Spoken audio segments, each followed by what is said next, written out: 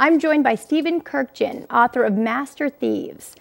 He's here today to talk to us a little bit about the most famous art heist in U.S. history. Thank you for joining us. Thank you for having me. So I think today, you know, what a lot of people are wondering is, do you think these pieces will ever be recovered? Even though it has been 25 years later, um, and there has been uh, endless hours of investigative work and commitment, man and women power put to this case, I do, in fact, am optimistic. Uh, I am optimistic uh, not because um, someone is going, I, I, someone is going to finally realize that there is no better offer that can be made. The FBI U.S. Attorney's Office, who's in charge of this investigation, has said you will not be prosecuted if you bring in the artwork. Bring it back.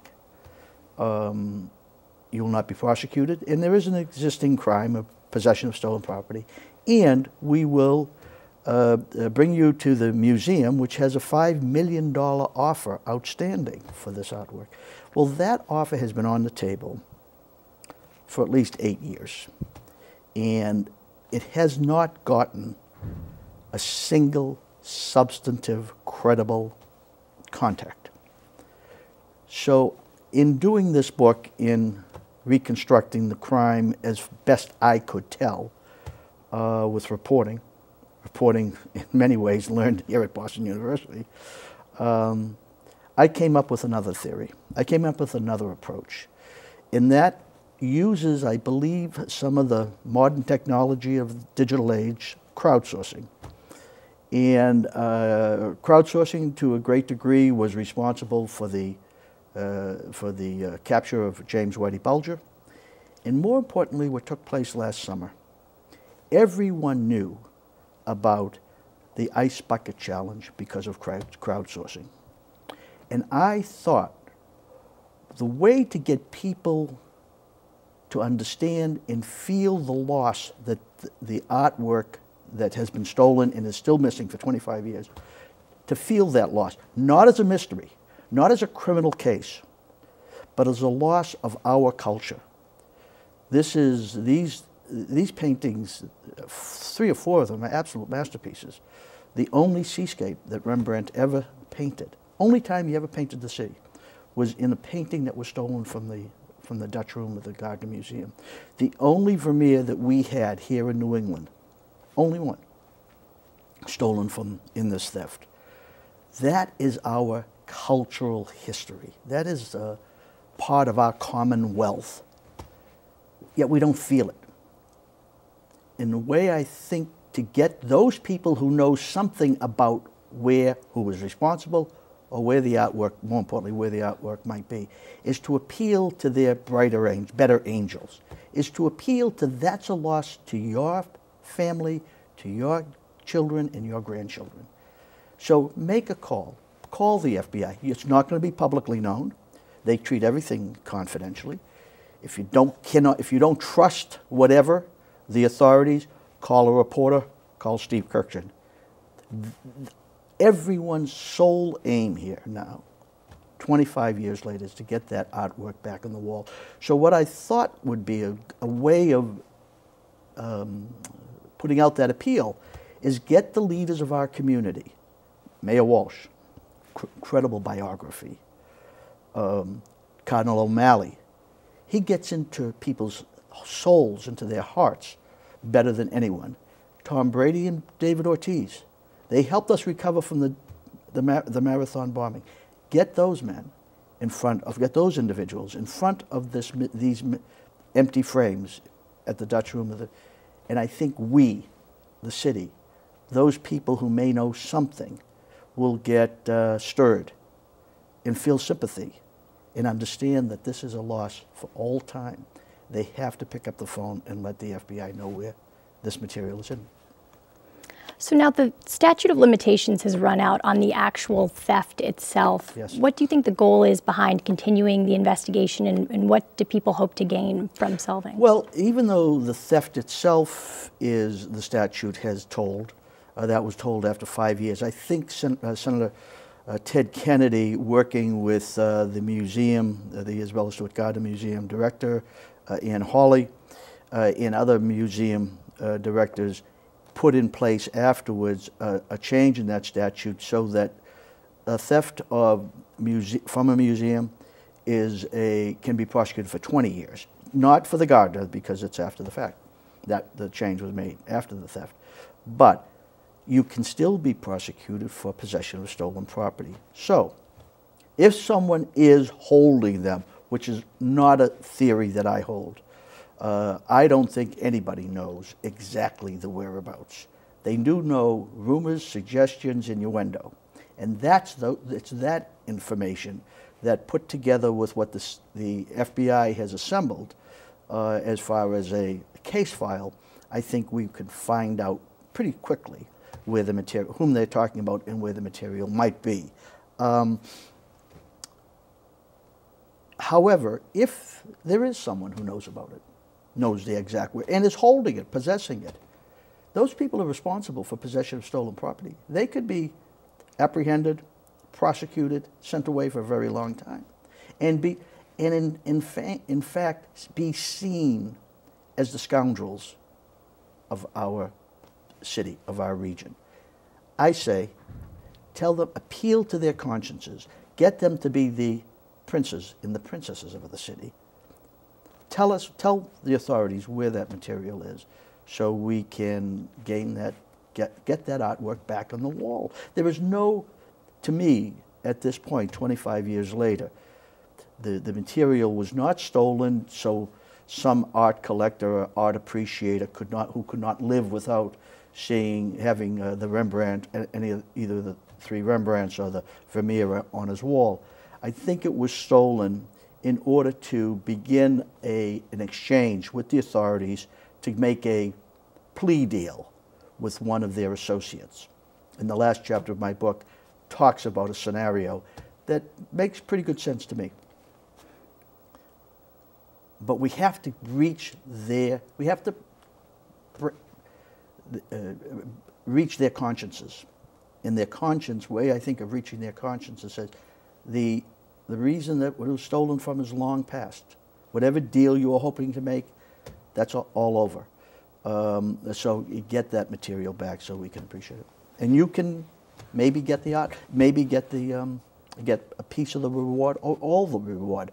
I think the FBI and the U.S. Attorney's Office is willing to make any concession to any uh, person who knows it, that their identity will never be known, but the reward of their putting up their hand, pointing out where in the, in the geography this, this material might be, will be, um, will be appreciated by anyone who goes back and sees these paintings on the wall.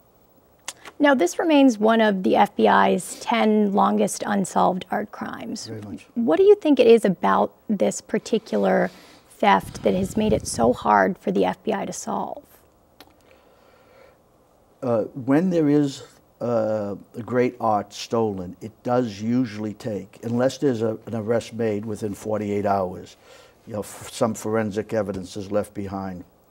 Um, it does usually take a matter of years to solve. In this case, what I think happened is the individuals who were responsible for the actual theft.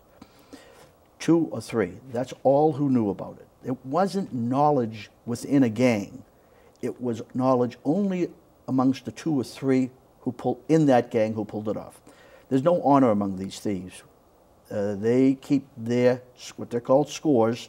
They keep that to themselves because if another associate in the gang knows about it, he or she could drop a dime on them and get some reward. So my sense is that these individuals who did the actual theft uh, and, and hid the material, either giving it to a person who hid it for them or hid it themselves. Don't forget, there were 45 FBI agents on the streets of Boston uh, trying to track the trail.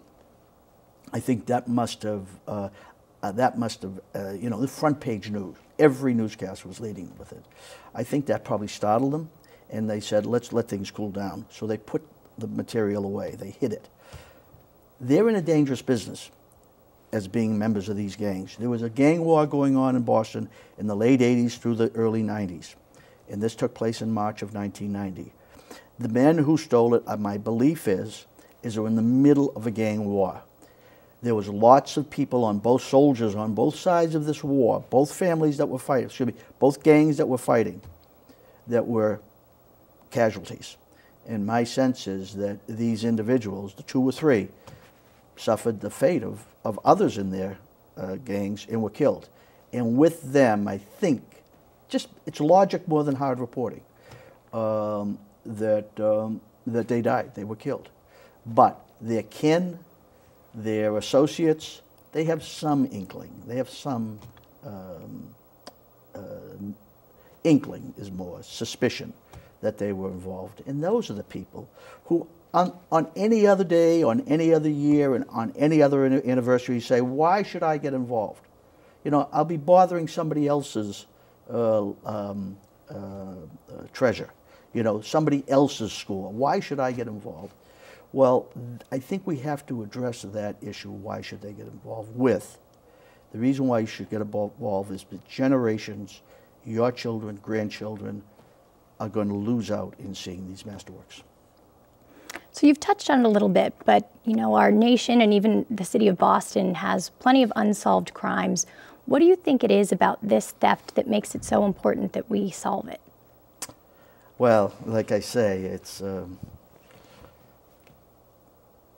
I, have I've, I've, I've, I've spoken about the, uh, the, um, the importance and the beauty of the, of the masterpieces themselves. Uh, but for me, uh, a Boston boy um, who has seen this city change so remarkably to when I was growing up and going to public schools here, that has become such a thriving, diverse, uh, world class city. To think that we could get these masterpieces back for the right reason, that someone brings them back it seems to me to be a crowning achievement and makes us, you know, I, you know, I'm a hard, hard reporter. I go, i have been, you know, my career at the Globe go after, with investigative reporting, all sorts of um, uh, criminality and waste and uh, corruption of the public money. But with those artwork, that artwork back in the wall, I think we are an Olympian city. I think it would, it would restore, it would give us a confidence, give us a pride uh, that we've gotten back our masterpieces. Understand, go to the Boston Public Library, stand out in front of the entrance on Dartmouth Street. You will see two major statues, one of scientific and one of artistic achievement. On the base of the artistic achievement statue, there are eight names of artists throughout history, throughout into BC. Six of those artists have their works shown at the Gardner Museum. There's no other museum anywhere in this area that has six of those, uh, any, that, that, number, that number of artists of their work showed at the museum. That to me says that this is a special place. It's a, uh, it is a special place not just for our artistic achievement, but also a special center for the city. And we want it to be made whole, and it will not be made whole until that artwork is back. Now, I don't want to spoil anything that you have in the book here, but do you have a theory as to who you think committed the crimes?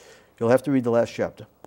Uh, what I think best that I came up with is a motive that, for the first time, has been uh, identified with individuals, and that was there was a uh, there was a gang war going on, and the leader of one of the gangs uh, had just recently been arrested two or three months before the theft.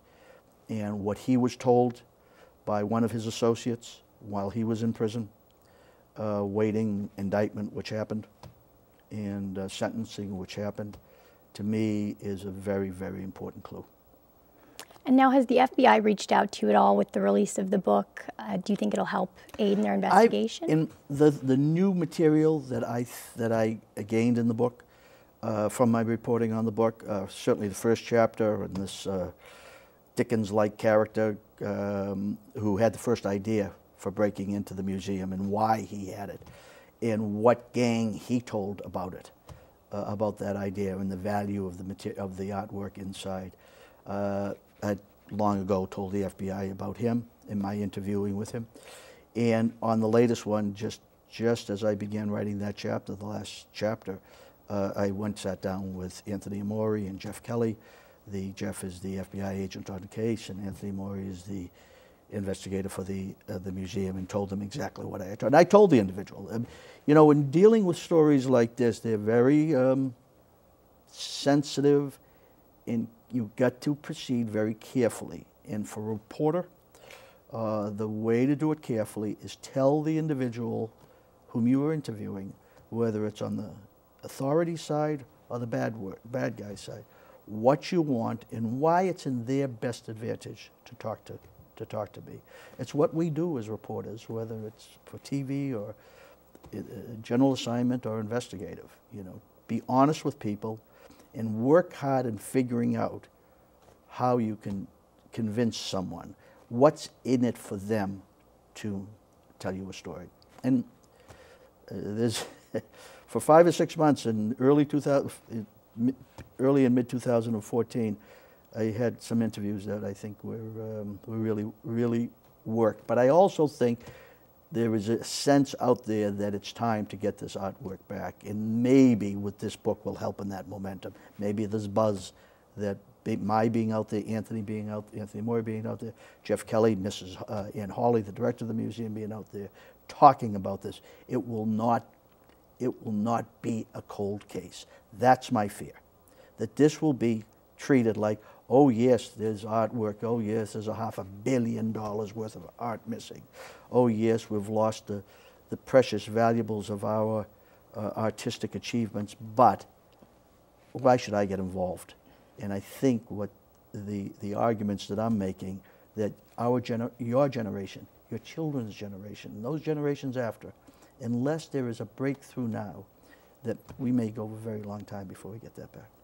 Well, Stephen Kurkjian, thank you very much for joining us today. Back to you in the studio.